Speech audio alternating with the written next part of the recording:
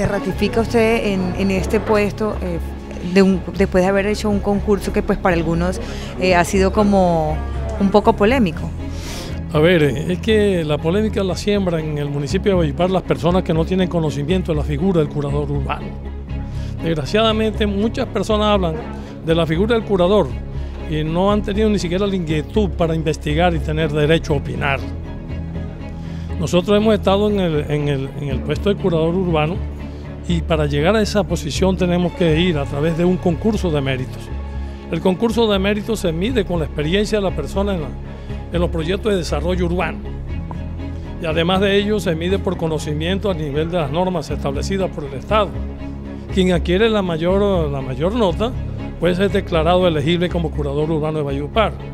Yo he venido desempeñando esta posición desde el año 1996 el 12 de septiembre del 96 y he llegado a la curaduría urbana mediante concursos establecidos por la administración municipal.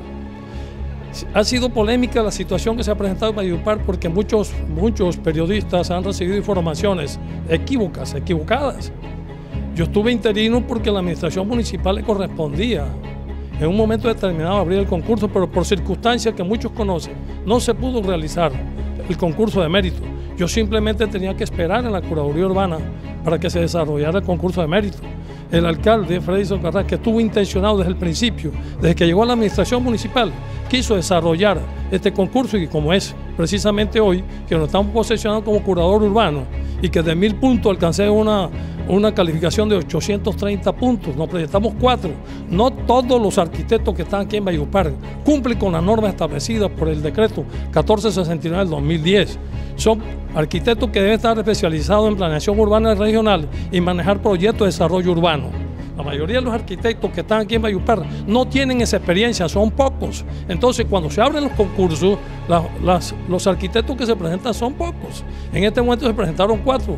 Fuimos elegibles, fuimos para, para, para seguir en el proceso, en el examen, tres personas, de los cuales salimos elegidos el compañero Augusto Orozco Sánchez y mi persona.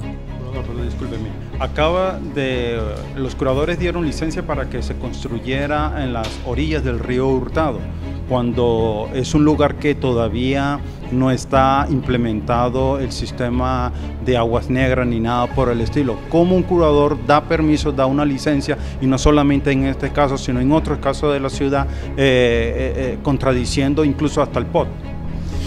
A ver, este es un caso polémico que se ha presentado en Valledupar pero hay que tener en cuenta que el plan de ordenamiento territorial, en el artículo 315 del, acuerdo 064, establece unas normas específicas para la zona. Desgraciadamente, pues, esto se ha enfocado de una manera atroz. Allí lo que hay que hacer es una sustracción del área. No sé qué está aconteciendo en este momento, porque la, licencia fue paralizada por, por la Corporación Regional de Valledupar.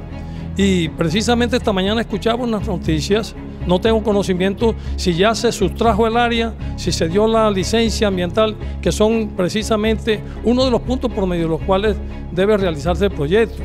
En el, en el plan de ordenamiento territorial, como dije anteriormente, eh, tenemos el artículo 315, en el 064 del 99. Ese, ese, ese, ese artículo le permite al curador urbano otorgar las licencias en las áreas donde particularmente está establecida por norma.